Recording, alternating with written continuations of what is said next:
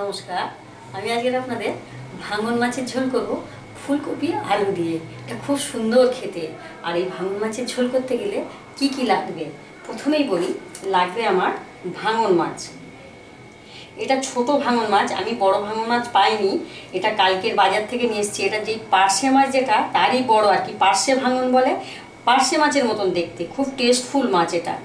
আর আমি আজকের আজকের বাজারে বড় মাছ ছিল, কিন্তু এটা আমার কালকে গার আনা। ওই জন্য এটা আমি আজকে ঝোল করে দেখাবো। আর লাগবে আপনার ফুলকপি। আমি ফুলকপি নিয়েছি, এখন ফুলকপি ছোট ছোট ওই জন্য আমি দুখানা ফুলকপি নিয়েছি। এখন তো শীতকাল না ওই জন্য অসময়ের মানে অফ সিজন ফুলকপিগুলো ওই জন্য ছোটো ছোটো ফুলকপি।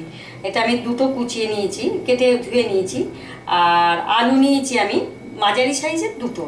আর ফুলকপিটা আমি নুন আর গরম জল দিয়ে বেশ অনেকক্ষণ আমি রেখে দিয়েছিলাম। কেন? অসময়ের ফুলকপি অফ সিজনের ফুলকপি, এতে অনেক সময় অনেক ওষুধ ফষুধ দিয়ে রেখে দেয়, ওই জন্য আমি লবণ জল দিয়ে, গরম জলে লবণ দিয়ে অনেকক্ষণ রেখে দিয়েছিলাম। তারপর ছেঁকে তুলে নিয়েছি। আর লাগবে আপনার হলুদ। আর পরিমাণ মতো নুন। আর কাঁচা লঙ্কা বাটা নিয়েছি দুই চা চামচ আর এটা জিরা এটা জিরা, ধনে গুঁড়ো।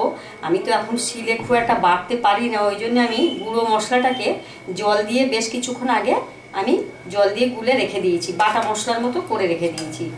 আর পাঁচ ফোড়ন লাগবে হাফ চা চামচ। আর আদা নিয়েছি কুড়িয়ে এক চা চামচ। আর তেজপাতা নিয়েছি, ছোট ছোট তেজপাতা, চারটে তেজপাতা নিয়েছি।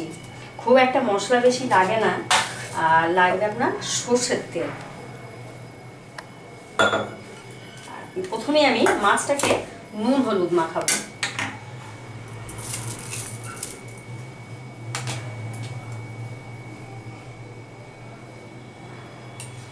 নুন আর হলুদ দিয়ে মেখে আর গ্যাসটা আমি জোর দিয়ে দেবো, দিয়ে এবার কড়াইতে তেল দেবো প্রথমে আগে। মাছটাকে আমার ভাজতে হবে। আমি দুই টেবিল চামচ তেল দিয়ে দিলাম, ভাজার জন্য। দিয়ে আমি এবার মাছটাকে নুন হলুদ মাখিয়ে নেব। মাছটা আমার নুন হলুদ মেখে নিয়েছি। এবার আমি মাছটাতে কড়াইতে ভাজবো।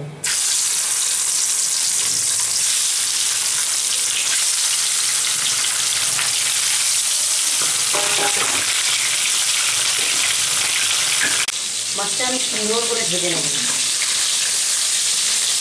মাছটা আমি একটু মিশিয়ে দেবো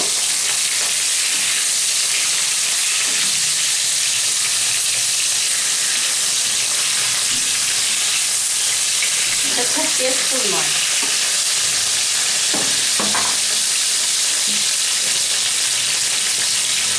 আমার মাছগুলো ভাজা হয়ে গেছে, এবার আমি তুলে নেব মাছগুলো একদম সুন্দর করে ভেজে নিয়েছে।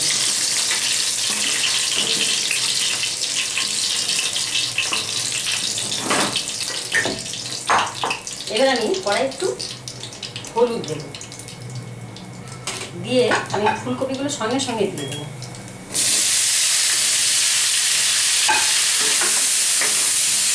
তেলে হলুদ দিলে তরকারি কালারটা খুব সুন্দর আসে। আর ছিটকায়ও না, তেলও ছিটকায় না, গায়ে ফোটে না। ফুলকপিটা আমি বেশ ভালো করে ভাজবো, না হলে এখনকার ফুলকপি একটা গন্ধ থাকে। এই জন্য শীতের ফুলকপি খেতে ভালো, এখনকার ফুলকপি গন্ধ গন্ধ খাচ্ছে কারণ ওষুধ দিয়ে অনেক কিছু দিয়ে বানানো হয়। এই জন্য ফুলকপিটা আমি খুব ভালো করে ভাজবো। একদম লাল লাল করে ভেজে নেব। ফুলকপিটা আমি একদম লাল লাল করে ভেজে নিয়েছি। আমি এবার ফুলকপিটাকে উঠিয়ে নেব। গ্যাসটা কমিয়ে দেবো দিয়ে। ফুলকপিটা উঠিয়ে নেব।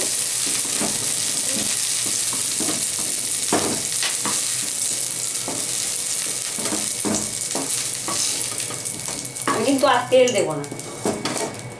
এতেই আমি আলুগুলো দিয়ে দেবো। তবে কড়াই একটু হলুদ দেবো।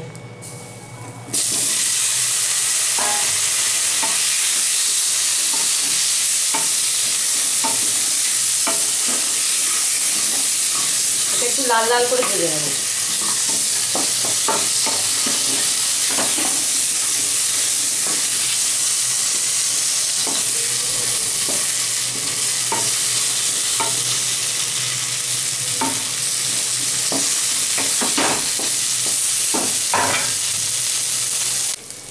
হালকা লাল লাল করে ভাজা হয়ে গেছে, আমি এবার ফুলকপিগুলো এতে দিয়ে দেবো।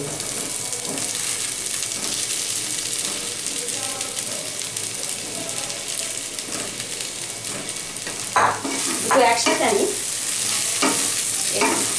ভাজবো, দিয়ে এবার লঙ্কাটা, লঙ্কা বাটাটা দিয়ে দেবো। আদাটাও দিয়ে দেবো।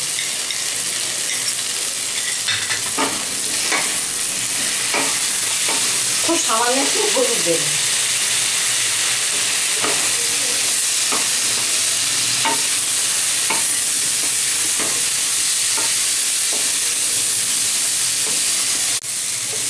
লঙ্কা আদাতে বেশ ভালো করে ভেজে নিয়েছি।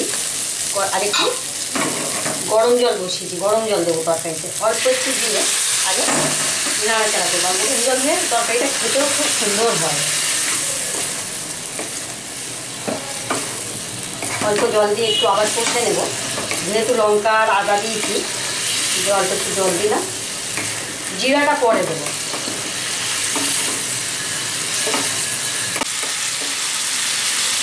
একটু নুন দেবো।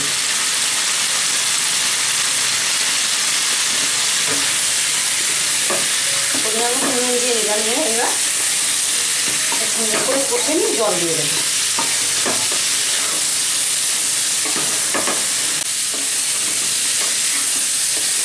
এবার ভাজা হয়ে গেছে, আমি এবার গরম জল দেবো, ফোটানো জল দেবো। আমি জলটা ফুটিয়ে রেখেছি সসপ্যানে।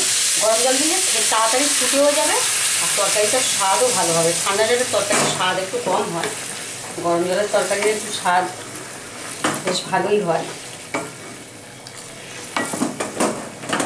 এটা দিয়ে আমি এবার ফুটতে দেবো। আলু আর ফুলকপিটা একটু আদা সিদ্ধ হতে দেবো। তারপর আমি মাছটা দেবো। দেখুন, জলটা দেওয়ার সাথে সাথে ফুটে গেছে। আমি এবার একটা ঢাকনা দিয়ে ঢাকা দেবো। পাঁচ মিনিটের জন্য একটু ঢাকা দিয়ে দেবো। তারপর মাছ আমার পাঁচ মিনিট হয়ে গেছে। দেখব তরকারিটা বেশ ভালোই ফুটে গেছে। আলুটাও আধা সিদ্ধ হয়ে গেছে। আমি এবার মাছগুলো দেবো। মাছগুলো দিয়ে আবারও আমি ফুটতে দেবো। পাঁচ মিনিটের জন্য আবার আমি ঢাকা দিয়ে দেবো মাছ দিয়ে। আমার পাঁচ মিনিট হয়ে গেছে তরকারিটা দেখব। সবজি, মাছ, আলু সব সিদ্ধ হয়ে গেছে, একদম গলে হয়ে গেছে। আমি এবার তরকারিটা নামিয়ে নেব।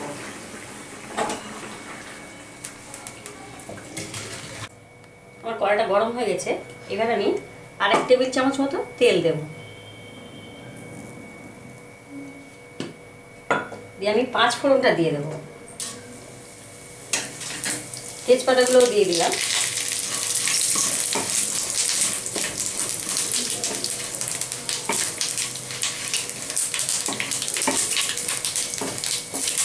আমার একটু ফুটে গেছে, আমি এবার এই জিরা বাটাটা দিয়ে দেবো।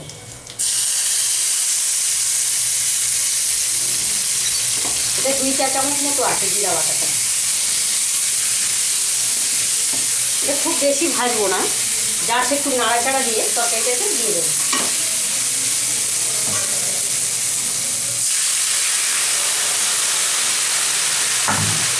এবার একটু ঝোলটা ঢেলে দিলাম। বেশ ফুটে উঠলে তবে আমি ফুলকপি আলুটা দিয়ে দেবো।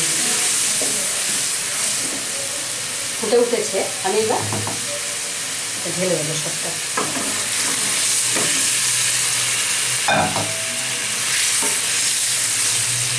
যেহেতু ফোড়ন দিয়েছি, এই জন্য আমি একটু ঢাকা দিয়ে দেবো। এই গন্ধটা খুব সুন্দর হবে। ঢাকা দিয়ে আমি দু মিনিট মতো একটু মিডিয়াম ফ্লেমে দিয়ে রেখে দেবো। আমার দু মিনিট হয়ে গেছে তরকারিটা সাঁতাল দিয়ে। আমি তখন বলিনি, একটু ধনে পাতা দিয়ে দেবো। ধনে পাতা দিলে খেতে খুব সুন্দর হয়। একটু ধনে পাতা দিয়ে দেবো।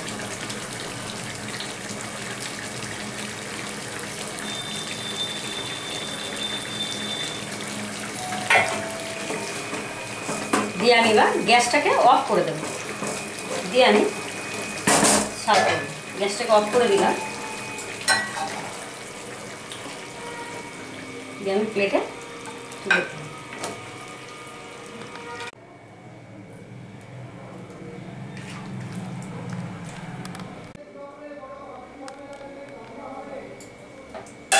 হয়ে গেছে আমার ফুলকপি আলু, ভাঙন মাছের ঝোল। এটা খুব সুন্দর খেতে। আপনারা বানাবেন, খুব ভালো লাগবে। আমি যেভাবে বানিয়েছি, আপনারা সেইভাবে বানান। বানিয়ে কেমন হয়েছে আমাকে জানাবেন। আর এটা দেখে আপনারা আপনার বন্ধুবান্ধব, আপনার রিলেটিভদের সাথে শেয়ার করবেন। আর এটা দেখে আমাকে সাবস্ক্রাইব করবেন। তাহলে আমি আরও নতুন নতুন রেসিপি আপনাদেরকে দেখাবো। আর এই ভিডিওটা দেখার জন্য আপনাদেরকে ধন্যবাদ।